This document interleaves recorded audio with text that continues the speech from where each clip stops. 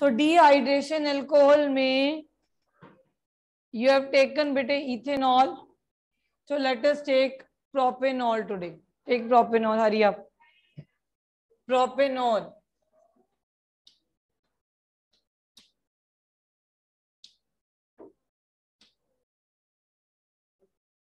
Propanol. At 443 Kelvin temperature. 95% of sulfuric acid. So so, dehydration में क्या होता है बेटे? ये O H as O H negative निकलेगा। ये एच एज एच पॉजिटिव निकलेगा। ठीक है? तो you will get propene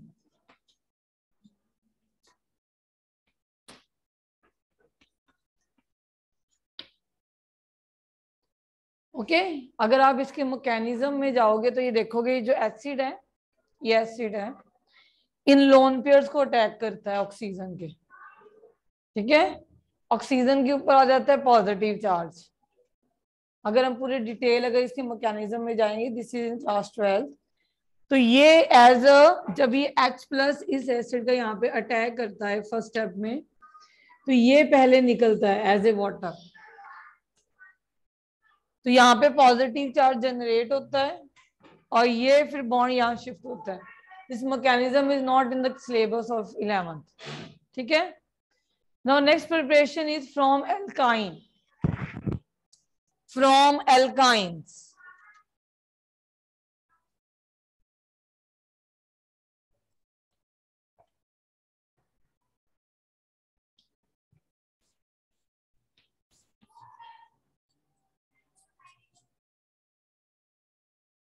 For example, if you having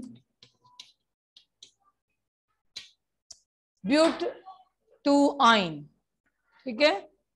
triple bond है इसमें बेटे। ब्यूट टू आइन तो इसकी हमने क्या करवानी? रिडक्शन मतलब एडिशन ऑफ़ हाइड्रोजन अगर यहाँ पे मैं एक हाइड्रोजन दे दूँ और यहाँ पे एक हाइड्रोजन दे दूँ तो एल्कीन ही है। तो एक बॉन्ड चला जाएगा। कैसे मान लो ये हाइड्रोजन है। हाइड्रोजन का ये बॉन्ड लेके आ रहा है ये तो ये यहाँ पे लग जाएगा। लग जाएगा? अब ये वाला जो बॉन्ड है, ये ये यूज़ कर लेगा ये वाला हाइड्रोजन तो ये यहाँ पे लग जाएगा। बीच में क्या रह जाएगा? Double bond roll number two बेटे। ठीक है? तो इसके लिए ये ऐसा नहीं है कि ऐसा ही हो जाएगा। यू नीड अ कैटलिस्ट ठीक? So you can need a platinum. ठीक? इसका जो बेस है, आप लोगे कैल्शियम कार्बोनेट और you can take barium sulphate and you will poison this catalyst by sulphur और क्यूनोलिन हम ये क्यों करते हैं? अब सल्फ़र याद रखो। यहाँ पे कैल्शियम कार्बोनेट सल्फ़र याद रखो, ठीक है? हम ये पॉइजन क्यों करते हैं? क्योंकि ये बहुत एक्टिव कैटलिस्ट है। अगर पैलाडियम अकेला ले लेंगे तो एल्कीन स्टेप के ऊपर नहीं खत्म होगा, ये एल्केन बन जाएँगे। समझ आ रही है? अगर कैटलिस्ट को आप पॉइजन नहीं करोगे तो ये वन मोल ऑफ़ हाइड्रोजन की जगह पे टू मोल्स ऑफ़ हाइड्रोजन आ जाएँगी। गॉट इट तो you have to reduce it hydrogen तो देनी देनी है तो यू विल गेट एल्कीन अब इसे कहते हैं बेटे Lindlar catalyst. The catalyst is known as Lindlar catalyst इस कैटालिस्ट में सब कुछ लिंडलार है। Palladium supported on barium sulphate और calcium carbonate poison with sulphur और क्यूनिलिन सबको लिंडलार कहा जाता है। ठीक? अब इससे हमें जो प्रोडक्ट मिलता है, वो सिस एल्कीन मिलती है। सिस एल्कीन का मतलब है, अगर ये कार्बन है और बीच में डबल बॉन्ड आ गया तो आपको इस तरह का प्रोडक्ट मिलेगा। That is a cis alkene okay? In case of large catalyst, you will cis alkene What do what you have done? You have reduced alkynes. ठीक? एल्काइन को रिड्यूस करने के लिए हमने क्या लिया? एक कैटलिस्ट जिसको हमने पॉइजन किया कि हमारी एल्कीन की स्टेज तक ना पहुँचे। क्योंकि पैलाडियम और हाइड्रोजन वैसे भी ले लेते हो तो एल्केन्स बन जाती हैं। Got it so next reagent is sodium in liquid ammonia तो इसे कहते हैं बिट्स रिडक्शन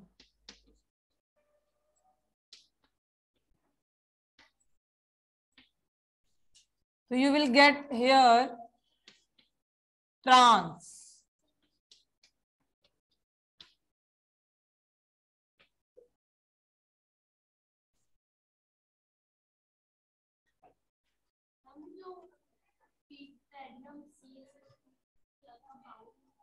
Palladium एक एलिमेंट है। उसके ऊपर कार्बन लगाएगी है कि रिड्यूसिंग एजेंट की तरह वर्क करे। और बेरियम सल्फेट या कैल्शियम सल्फेट उनको एक बेस दिया गया। देखो बेटे, ये गैसेस होती हैं, हवा में तो रिएक्ट करेंगी नहीं। पहले सरफेस केमिस्ट्री में पढ़ोगे आप, पहले एड्जॉर्प्शन होती है। मींस गैसेस आके किसी सरफेस पे एड्जॉर्ब होती हैं। ठीक है? और जो ये कैटलिस्ट लिए जाते हैं जनरली डी ब्लॉक के एलिमेंट्स लिए जाते हैं, क्योंकि इनकी वेरिएबल ऑक्सीडेशन स्टेट होती है। ये ऑक्सीडेशन स्टेट वेरी कर सकते हैं अपनी। जब इनके ऊपर हाइड्रोजन या एल्कीन एड्जॉर्ब होंगी आके तो ये क्या करेंगे? अपनी ऑक्सीडेशन स्टेट जैसे पैलाडियम प्लस टू से प्लस फोर ले जाएगा। फिर जब वो डी एब्जॉर्ब होंगे, दोबारा से अपनी प्रीवियस ऑक्सीडेशन स्टेट में आ जाएँगे। वर्ड द पॉइंट ठीक है? नो नेक्स्ट इज़ डन जल्दी लिखो सल्फ़र सोडियम एन नहीं है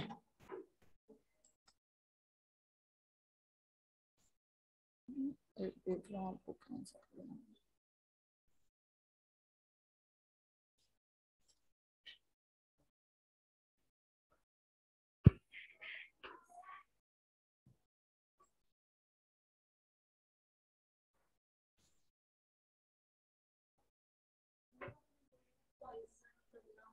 सल्फ़र से कर दो या क्यूनोलो, क्यूनोलिन से। पॉइजन करना है कि हमने एल्कीन से हम एल्केन ना बनाए। ठीक है? इसके बाद आगे इफ़ यू रिमेम्बर हमने एल्केन जब बनाए थे एल्केन तो एक रिएक्शन करी थी कॉल बेस इलेक्ट्रोलाइसिस ठीक है? तो इसमें भी वही करेंगे। ठीक है? Next is call base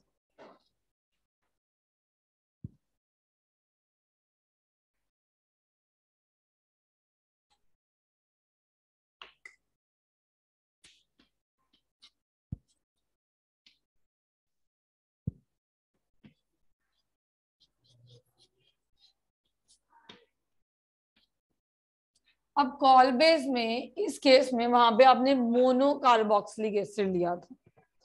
Means R C O O N A लिया था। इस केस में बेटे salt of di carboxylic acid लोगे।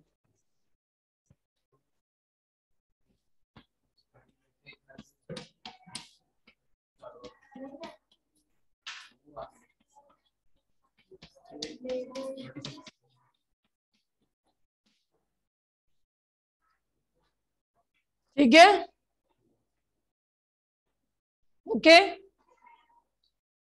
this acid you will take इसे कहते हैं सक्सीनिक एसिड तो ये सॉल्ट है सक्सीनिक एसिड का? तो आप लिखोगे sodium salt of succinic acid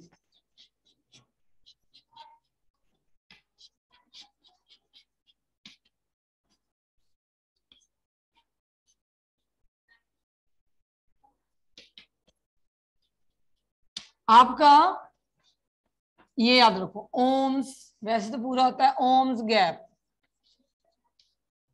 धीरे धीरे मैं सिखाऊँगी ये डाई कार्बोक्सिलिक एसिड को याद करने के लिए। ठीक है? ओ का मतलब होता है ऑक्जेलिक एसिड ऑक्जेलिक एसिड ही होता है। ठीक है? फिर आ जाता है मेलोनिक एसिड, उसमें एक कार्बन बढ़ जाती है। तो you will write like this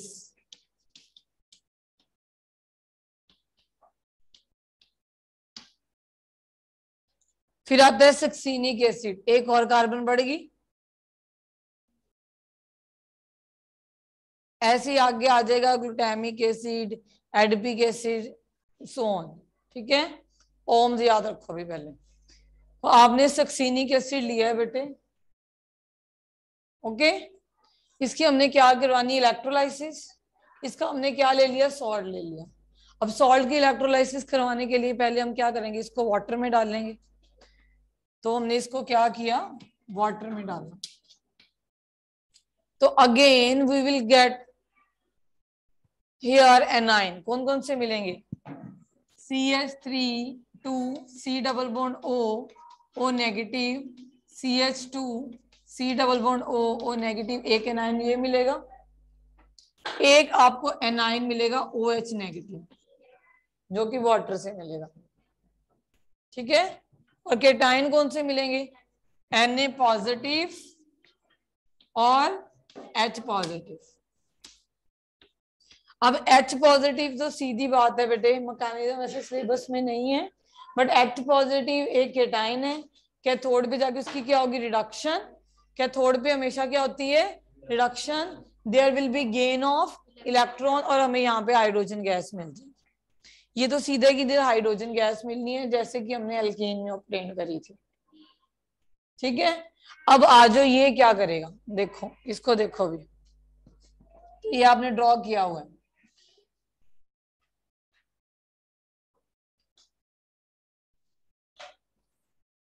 तो यू हैव अब इसकी क्या होती है बेटे? ऑक्सीडेशन ये एक एनाइन है। एनायन कहा जाएगा? एनोड की तरफ़। एनोड पे क्या होती है? Oxidation what is oxidation loss of electrons तो इसने भी एक इलेक्ट्रॉन लूज किया। इसने भी एक इलेक्ट्रॉन लूज किया। तो इसके पास भी अपने ही इलेक्ट्रॉन बच गया। क्योंकि ये नेगेटिव क्यों था क्योंकि इसने सोडियम से इलेक्ट्रॉन लिया हुआ था? ठीक है? ये नेगेटिव क्यों इसने भी सोडियम से लिया हुआ था? अब ये जो लिए हुए थे, ये तो दे दिए। पर सिक्स इलेक्ट्रॉन के अलावा एक इलेक्ट्रॉन बच गया। जो भी बच गया, एक इलेक्ट्रॉन है इसके पास। तो ये जो टू इलेक्ट्रॉन्स निकलने के बाद यहाँ पे एक एक इलेक्ट्रॉन बच गया।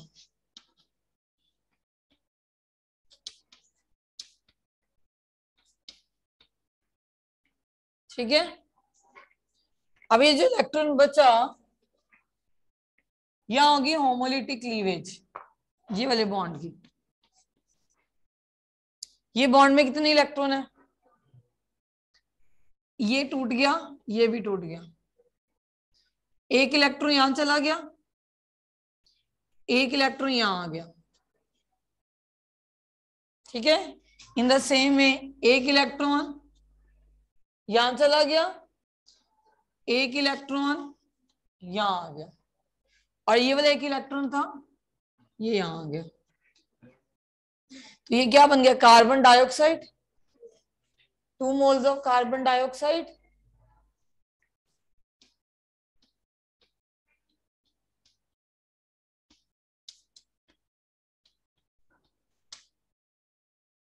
ठीक है?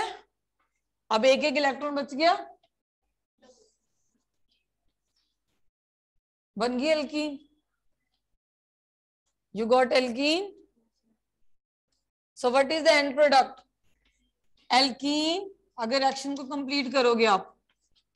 Alkene plus hydrogen plus two moles of carbon dioxide plus sodium बचा उधर से उधर से ओ OH बचा। तो sodium hydroxide complete the reaction now yourself आपने रेक्टेन क्या लिखे थे? Sodium salt of succinic acid plus water giving you now an alkene that is ethene plus carbon dioxide ठीक? Plus carbon dioxide plus hydrogen plus NH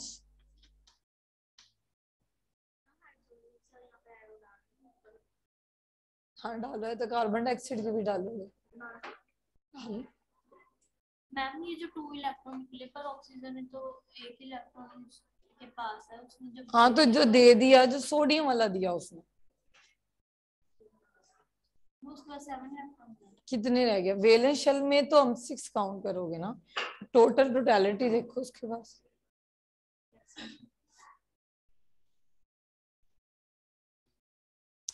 Got it? चले आगे। अब आ जाओ physical properties of alkene अब इसमें से जो question पूछा जाता है फ़िज़िकल प्रॉपर्टीज़ दो प्रॉपर्टीज़ पे। जैसे कि एल्केन में मैंने इंपॉर्टेंट बताया था आपको मेल्टिंग एंड बॉइलिंग पॉइंट यहाँ पे है बेटे मेल्टिंग और boiling point again write down melting and boiling point again these two properties are again very important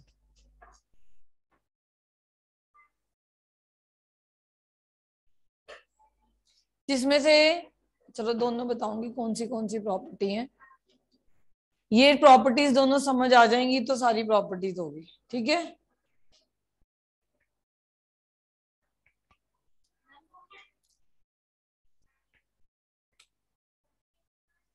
हो गया? चलो, पहले मेल्टिंग एंड बॉइलिंग पॉइंट करने से पहले, we know there are two geometrical isomers which are that two geometrical isomers of alkene, cis and trans. बस melting and boiling point भी cis और ट्रांस का ही पूछा जाता है। ठीक है? देखो, मैंने तब भी बताया था बेटे जनरली कार्बन एटम इंक्रीज करने से मेल्टिंग और बॉइलिंग पॉइंट इंक्रीज हो गई। चाहे एल्केन है, चाहे एल्कीन है, चाहे एल्काइन है। Twenty two thirty kelvin rise in melting और बॉइलिंग पॉइंट होता है। ठीक? क्योंकि जैसे जैसे आप साइज़ बड़ा करते जाओगे वैसे वैसे आपको टेम्परेचर ज़्यादा करना पड़ेगा मेल्ट या बॉयल करने का। जितना बड़ा बटर का ब्लॉक होगा, उतना ज़्यादा हमें टेम्परेचर ज़्यादा देना पड़ेगा। ये तो बट ऑब्वियस है। पर हमने बात करनी थी एक्सेप्शन की, ठीक है? मीन्स आप ये बोलोगे कि मेल्टिंग और boiling point with increase in number of carbon atom will increase by 20 to 30 kelvin but जब हमारे पास सिस और ट्रांस हो, तब क्या बात करें? ठीक है? सिस क्या थी? जब सेम ग्रुप एक जैसे बड़े वाले ग्रुप एक ही साइड हो ट्रांस में बड़े वाले ग्रुप ऑपोजिट साइड पे हो। This is a trans do you remember जैसे अभी लिंडलार कैटलिस्ट में आपने सिस बनाया ब्रिज रिडक्शन में आपने ट्रांस बनाया। ट्रांस में आप क्रॉस बनाते हो सिस में आप सेम साइड पे लेके आते तो पहले फ़िज़िकल प्रॉपर्टी में let us talk about melting point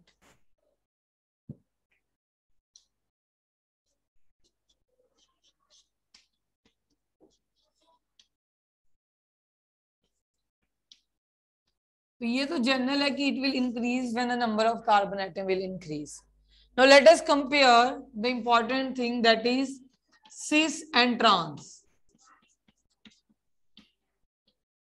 अब कैन एनीवन टेल की मेल्टिंग पॉइंट कौन सी प्रॉपर्टी थी? एल्केन्स में। मैंने आपको ब्रैकेट में लिखवाया भी था। क्रिस्टल लैटिक्स में फिट होने की। यस तो ये इसमें भी क्रिस्टल लैटिक्स में फिट होने की है।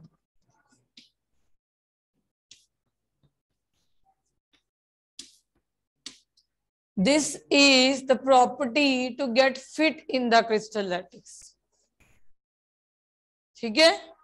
जहाँ मेल्टिंग पॉइंट की बात आ जाए, वहाँ पे आप किसकी बात करते हो? क्रिस्टल लैटिक्स की।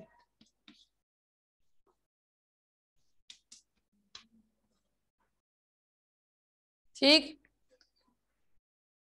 अब मैंने आपको एक सिस दे दी, एक ट्रांस दे दी। ये मानो कि दो बड़े बड़े फुटबॉल एक ही साइड दे दिए। और दो फुटबॉल्स मैंने ऑपोजिट साइड प्लेस कर दिए।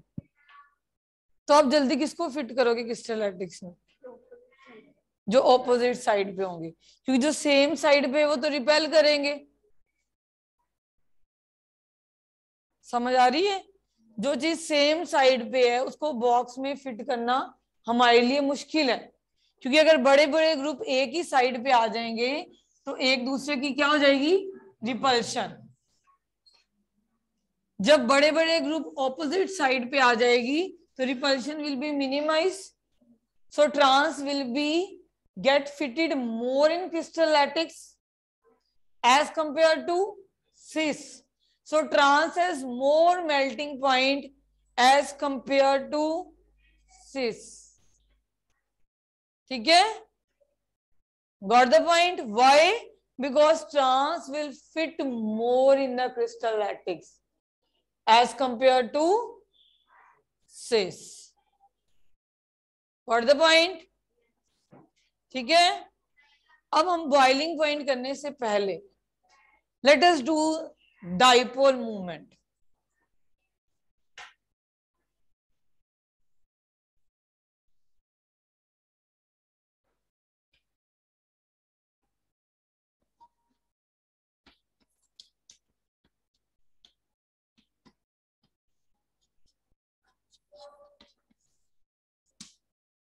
dipole movement अब again this is as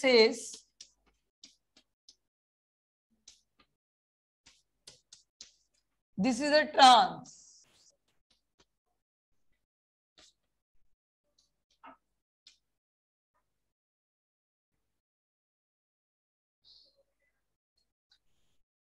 अब एक एक ना वो है रोप है।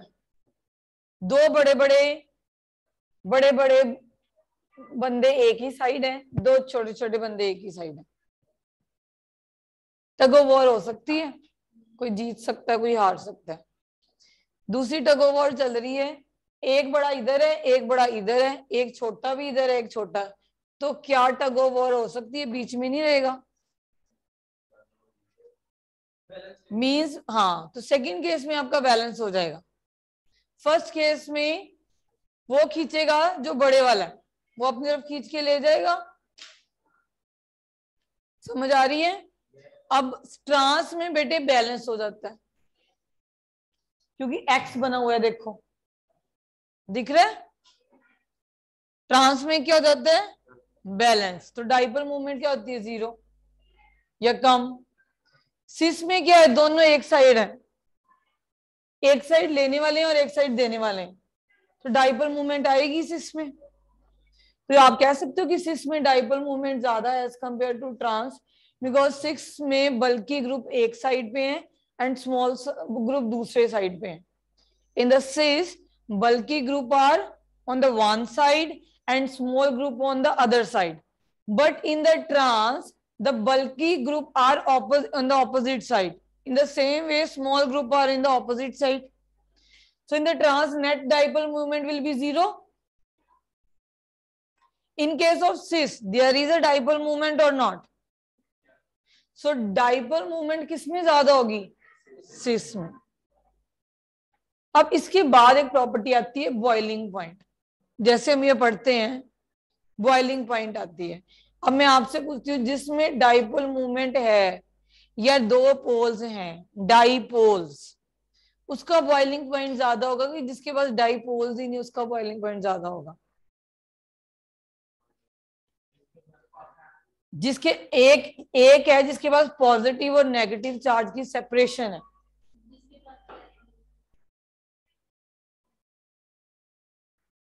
आप इतना तो जानते हो बेटे आयनिक बॉन्ड स्ट्रॉन्ग होता है कि कोवलेंट बॉन्ड क्यों? उनमें आयन्स होते हैं। आयंस के कारण क्या जाती है? Electrostatic force of attraction covalent कैसे बनता है? शेयरिंग से। इसका मतलब जब चार्ज सेपरेशन आती है, तब बॉइलिंग पॉइंट बढ़ जाता है।